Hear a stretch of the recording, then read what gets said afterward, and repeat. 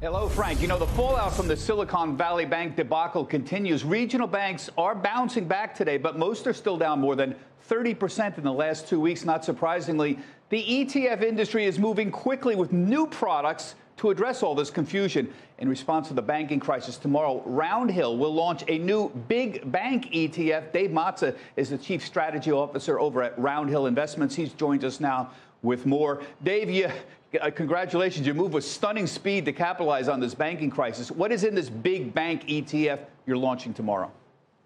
Well, Bob, in fact, what's exciting about these ETFs is what you're not going to find. You're not going to find smaller banks. You're not going to find regional banks. And in fact, when it comes to financials, you're just going to find six stocks, which are the six largest and most liquid U.S. listed banks. And so that's Bank of America, Citigroup, JP Morgan, Morgan Stanley, Goldman Sachs, and Wells Fargo.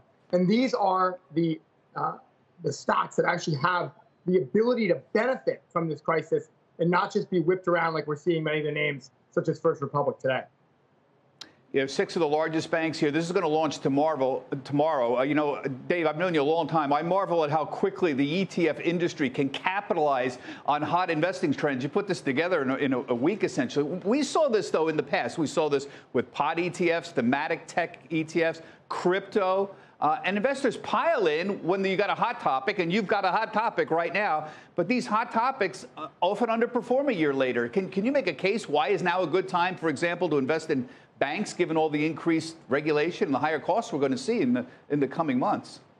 Well, you raise a good point. There's often um, uh, a focus on the ETF industry that it's uh, just running to the hot top. But in this case, we're talking about six large banks. This isn't a thematic fund. This is a better way to express a view on the on financials. And in fact, the concentrated nature of this particular ETF that gives exposure just to the banking sector um, is really what's exciting about this. And the ability to, to, bring this to the market in a short period of time with tomorrow's launch um, is emblematic of this fact. And what we're seeing yeah. is investors are turning away from smaller banks and focusing on those that may actually benefit because of right. the uncertainty you know, in a move that's kind of reminiscent of what Cathie Woods has been doing, you're also planning to release a suite of ETFs that have very concentrated exposure in other areas. You're going to launch a big tech ETF uh, that sounds like, uh, you know, something Cathie Woods might have done, a big airlines ETF, a, a big defense uh, ETF. Why are concentrated bets a hot topic right now? Is that what the investing public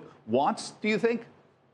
Yeah, as you noted, I've been working with uh, ETFs for a, a, long time now, and I think the marketplace has been asking actually for more precise exposure.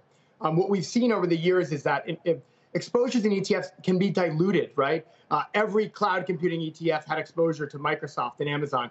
But at the end of the day, what's been missing is the ability for investors and traders to have that precision, which is one of the recall hallmarks of ETFs from their start 30 years ago. And whether we're talking about big tech, big airlines, big de- defense, or the launch of Big B tomorrow, we're offering the precision and focusing on the five stick stocks that really matter for that particular yep. industry. And again, that big bank ETF launching tomorrow. Now, we're going to have much more coming up on ETFs and the bank banking crisis that's coming up on ETF Edge, 1:10 p.m. Eastern Time. Dave's going to be joined by Greg Bassuk. He's the CEO of AXS Investments. Todd Rosenbluth is the head of research at VettaFi.